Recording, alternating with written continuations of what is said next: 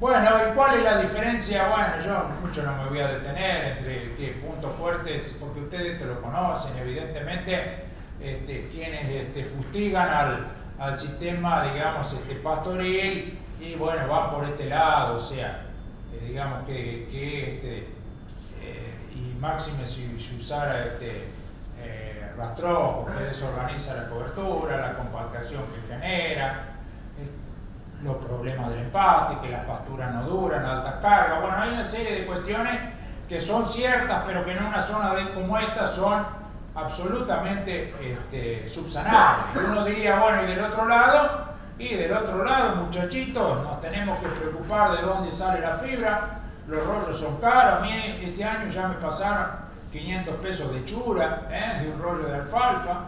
El costo de la energía y de la proteína también la estructura, no se puede trabajar con... Hoy el colega dijo la estructura para trabajar profesionalmente, pero también para trabajar en un feedlot, hacer este, corrales con hilo eléctrico, a mí me parece que no va, o sea, son estructuras caras, hay que pensarla de alguna manera en amortizarla. Este, bueno, y lo que se viene, ¿no es cierto? O sea, esto de la figura del corresponsable sanitario va a estar en el futuro más ligada a ser buenos planes sanitarios, sino a gestionar los efluentes y, alguien va a tener que poner la chueca de que realmente, digamos, ese sistema, desde el punto de vista este, de, los efluentes, de cómo se usan, de cómo se esparcen en la agricultura, de cómo maduran en la fosa y demás, o sea, es todo este, una historia este, que, que, se va a venir y que por lo tanto, digamos, va a, este, a mejorar este, las, este, yo diría las expectativas en general que hoy este, son miradas medio de reojo este, los sistemas pastoriles en este momento. Pero todo, todo estos problemas de la agricultura y su alta dependencia de los insumos va a seguir y cada eso va dando mayores razones de ser a una invernada y una recría pastoril bien hecha. Obviamente Hablar de cada uno de estos puntos sería bastante largo, pero hoy yo ya dije que las reservas tienen que ser de calidad, sea esto las, los sobrantes de primavera avanzada y verano y también las que hagamos de silo, que el uso con pastura y suplementos sea integrado pero muy preciso en cuanto a la cantidad que inyecto, ¿eh? lo necesario pero que no falte, genética adecuada al planteo, sanidad yo diría, bueno, hay, hay cosas que, son un poco de cajón, pero que hoy tienen que ser atendidas.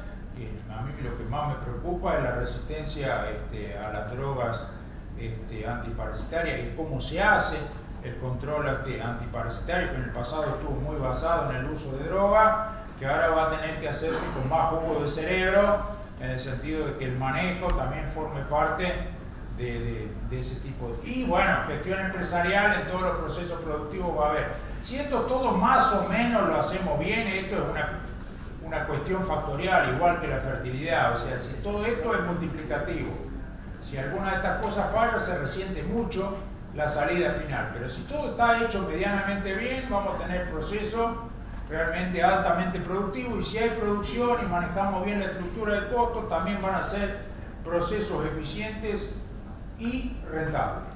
Después vamos a ver algún numerito de esto.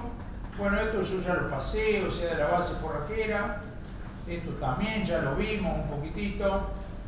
Eh, bueno, estos son un poquito los recursos que hoy se están revalorizando, o sea, los ambientes, voy a detener acá, los ambientes un poquito salinos, un poquito alcalinos, la cebada forrajera se están revitalizando mucho, los centenos vuelven incluso a la zona húmeda, pero de la mano de ser usados como cultivo de cobertura y ahí es donde podría entrar lo que yo llamo pastoreo estratégico ¿eh? de este, este, tipo de recursos que crecen realmente en exceso y donde, bueno, en años húmedos nosotros le podríamos dar un, destino ganadero. Las avenas, bueno, siempre las hemos conocido. Los triticales, hay más semillas triticales que en el pasado. En esto ha ayudado mucho que el triticale ha sido bendecido, ungido como un buen cultivo de cobertura, sobre todo para antecesor soja. ¿eh? Eso también nos puede ayudar a este, poder este, hacer este, un picoteo de ese recurso. Les voy a mostrar a continuación algún pequeño resultado que nosotros obtuvimos justamente pastoreando triticales racionalmente, removiendo en un caso el 50% y en el otro el 65% del forraje este, existente. En ese caso, en un pastoreo corto de 14, 15 días, generamos 140 kilos de carne, de la nada, dos semanas, ¿no es cierto? Pero ganancia de 800 sin suplementación, ni que hablar si hubiéramos hecho suplementación también. Y al secado, todavía puede entrar rolado y hacerlo más ecológico, la biomasa de los pastoreados y llegó a ser el 85% de la que tenía el control donde no se comió.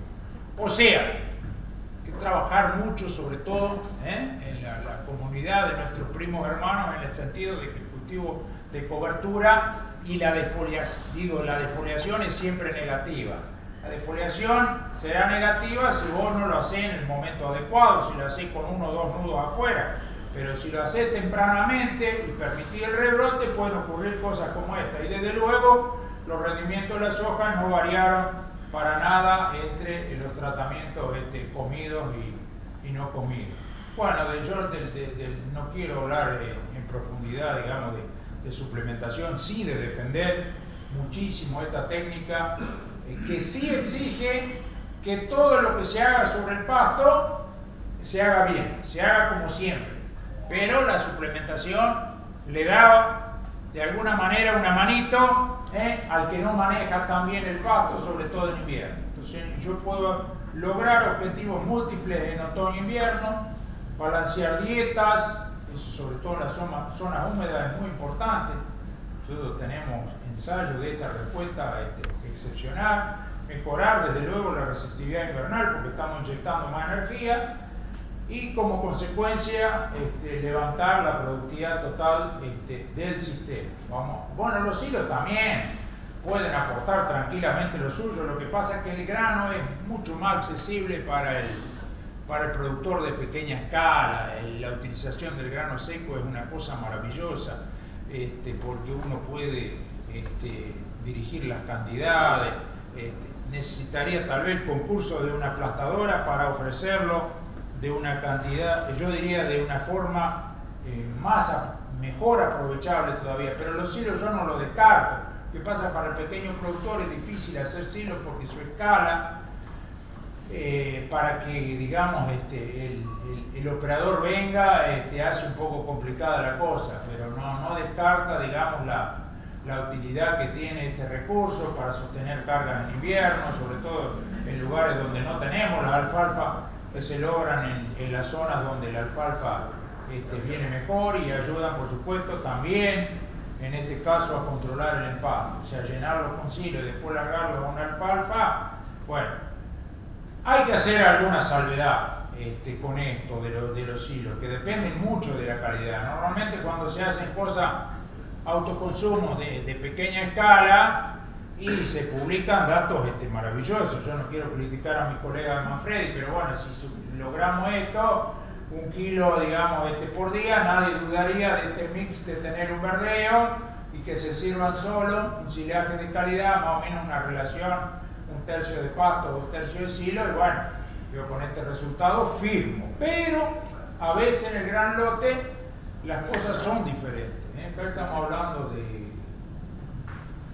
un millar de cabezas, ¿no es cierto?, en, en, este, en un campo, bueno, buen peso inicial y demás, una duración bastante larga, uno no le puede echar la culpa al acostumbramiento, y fíjense, la ganancia se hizo papa durante todo el proceso.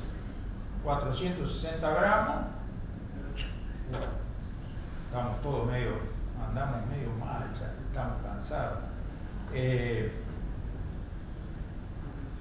bueno, lo cuento, 460 y 350 la vaquillona los dos años, o sea, hacer semejante despliegue para esa ganancia, evidentemente, bueno, algo falló ahí, o falló la, el, acceso al verdeo, o el verdeo no tenía la calidad, o digamos, faltaron centímetros de, de acceso, bueno, ahí volvió por arte de magia, ¿eh? pero fíjense, son ganancias realmente este, mediocres, 330 gramos, y estamos desperdiciando casi seis meses, yo digo desperdiciando, sí, para un campo bien armado como este, que armó todo este circo, que tiene mil terneros, que qué sé yo, Bueno, lo destacable de esto, y esto yo siempre lo resalto, es el que se anima a publicar estos datos.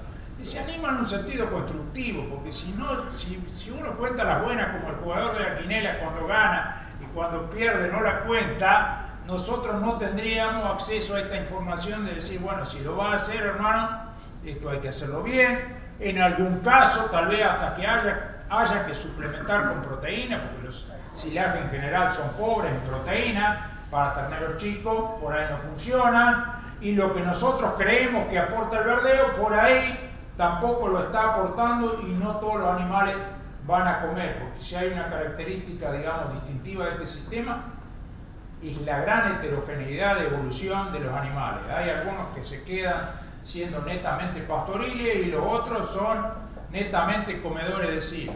Ninguno de los dos anda bien, al otro le falta energía y el otro está comiendo una cosa que le falta proteína y posiblemente le falta fibra porque es un animal chico.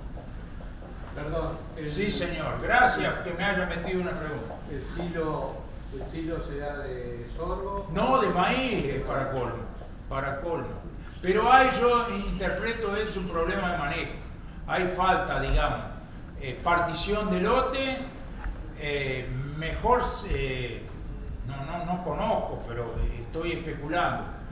Y este, más frente de acceso este, si hay muy poco centimetraje, este, los, dominados directamente ni van. Y ni que hablar si hay tropas con astados, bueno. Entonces, después de eso, se hace todavía este, mucho más asimétrico, digamos, el tamaño de uno y otro. Bueno, el que perdió nunca más recupera la huella, ¿no? Pero aparte de ahí, si estás suplementando el 2% con un silo que te tenga 6, 7 de proteína, tampoco va a llegar la proteína que Ni que hablar, ni que hablar. O sea, tendría que ser muy bueno el verdeo, muy, muy bueno para que justamente, pero justamente este sistema, el, el abastecimiento de proteína extra es bastante difícil, porque vos tendrías que rearmar toda una estructura paralela y para eso casi que suplementemos en forma dirigida este, con un mixer este, eh, silo, algo de grano y algo de proteína. O sea, cuando queremos usar este sistema en su versión simple, que nos ahorre cosas realmente como autoconsumo, bueno, tenemos que asumir a veces este, las dificultades. Y si no, realmente estar muy seguro, por ejemplo con alfalfa, esto funcionaría distinto o sea, en el sentido que la alfalfa tiene muy alto contenido de proteína invernal y bueno, y haciendo pastoreo por horas, yo podría estar realmente este, logrando este, una, digamos, un aporte proteico necesario para el que requieren animales chicos. ¿no? Es todo un tema, o sea, hay que plantearlo, no porque haya muchas cosas publicadas en, revistas, digamos, de divulgación yo diría más vale, sí, de divulgación, este, eh, digamos, siempre funciona también. Y bueno, y este es otro caso, bueno, no porque nosotros hagamos mejor las cosas, pero es con este, ya suplementación dirigida, ya con el silaje engordado con algo de grano, este, ya incluso haciendo funcionar eh, heno de calidad, o sea, una dieta este, multicompuesta junto con el pasto y bueno, y la, y la cuestión es distinta, o sea, en ese periodo con el mismo tipo de animal, 800 gramos, una carga, digamos, este, de cuatro cabezas por hectárea en ese caso, porque era una pastura ya muy degradada, fíjese lo poco que producía en invierno y recién lograba su explosión en primavera. ¿Qué límite pondría, digamos? Es que con este sistema eh, vos no podés manejar mucho los límites. Nosotros cuando lo damos en forma dirigida, no pasamos del 1%. No, me refiero al de la dieta de los animales. ¿Eh? Me refiero al quilaje de los animales. Ah, y sí, sería lindo empezar a, partir de los 200 kilos. Yo he visto fracasos muy estrepitosos en terneros chicos Claro, pero yo coincido con vos y eso está medio en el borde, pero eso a su vez tiene el problema de la escala. O sea, cuando vos tenés, eh, o sea, se establece una gran este, asimetría de conducta. Hay algunos que funcionan bien y hay otros que son realmente, digamos, este, un desastre. Y, aparte el mismo silo que te cambia. Hay, hay años que tiene un silo de 2, 3 de energía y, ese, y, al año siguiente te da 2, 6 de energía. y la respuesta no va a tener lo mismo de la proteína. sí, bueno, esa es, la historia, pero, pero el, el, gran lastre es la fibra. O sea, uno tiene que entender que el silo es una fibra relativamente mala y que no hay mucha forma de mejorarla.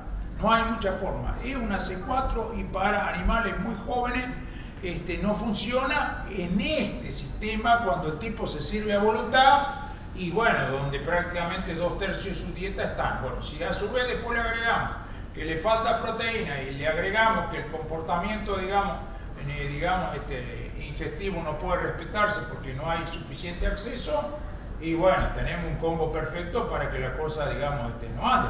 Pero eso, digamos, no va en desmedro, digamos, este, del sistema. Lo que pasa es que uno tiene que tomar más precauciones, la que vos decís. Los operadores de silo tienen un relato muy convincente para el productor que le dicen que en seis meses hacen 15.000 kilos de materia seca por hectárea. Entonces el productor es interesantísimo. Pero, bueno, está bien. No es para esa categoría, pero no te quiero otra. Claro. Eso no es una mentira. No, es espectacular. Y depende también de la zona. Depende de la zona. O sea, a ver, vos, esto en San Luis, donde vos no podés hacer. Bueno, ahora capaz que sí, porque cambió. Bueno, entonces, ¿qué Te dio vuelta la historia, ¿entendés? Este, hasta la vaca se lo da. Bueno, pero acá que nosotros tenemos otros recursos para darle de comer bien al ternero, que podemos hacer raigrases tetraploides, yo no, no, traigo la cifra acá, pero con ganancia de un kilo diario y demás, y bueno, tenemos otro recurso que por ahí este lo tenemos que destinar, como decís vos, a otro tipo de categoría. Bueno, esto es también conocido, donde, bueno, obviamente en la fase, digamos, si nosotros prescindiésemos de la suplementación en primavera avanzada y verano, porque hay mucho pasto y es lo que nosotros hacíamos al principio, nos queda este tipo de estructura, un palerío infernal, cuando este, nos pasamos, y eso es lo que le pasa al productor, el estadio que entramos. Generalmente porque le tenemos miedo al espacio. Si no pero si entramos en, el, punto que habría que entrar, que todo el papel aguanta todo, donde todo el mundo te dice que hay que entrar en botón floral y que qué sé yo y qué sé cuánto, pero el productor no es tonto, ¿eh? y el técnico a veces tampoco, porque una muerte nadie se la quiere cargar innecesariamente, bueno, pasa a veces la situación opuesta. ¿Cómo podemos solucionar esto? Bueno, primero no entrar tan tarde, ¿eh? tener, digamos, tener operarios un poquito más corajudos, proteger, digamos, los animales de otra manera y tener una eficiencia de cosecha este, eh, menor, cosechar las partes altas, tumbar el resto, nunca, bueno. Esto fíjese cómo, eh, aún en una zona marginal, este, con ciclo completo, este, pero bueno, suplementando eh, a las vacas también con un poco de silo, se logran productividades de, este tipo. ¿eh? Esto es en Adelia María, cerca de Río Cuarto. la base forrajera son alfalfa, este, y qué buenos índices de preñé, o sea, realmente un campo que entendió la filosofía de hacer cría en zonas agrícolas. Eh, y los márgenes brutos para esa, eh, digamos, este, ese campo en particular, fíjense que no son demasiado este, diferentes eh, los ganaderos a los de una buena soja que se logra ahí cercana a los 40 quintales y más de 100 de maíz, son apenas superiores. Y yo creo que para años como este, hasta, digamos, este, el margen de la soja prácticamente debe estar, me van a dar los datos del 2007 me prometieron en la reunión de Río Cuarto que me lo van a pasar. Yo creo que está cabeza a cabeza este, con la ganadería. El maíz posiblemente siga ganando. Y lo que yo quiero, digamos, este, marcar, si, si este, ¿por qué trae, digamos, un, dato de una zona tan exógena como hablar de la mixta cerealera cercana a Tres Arroyos?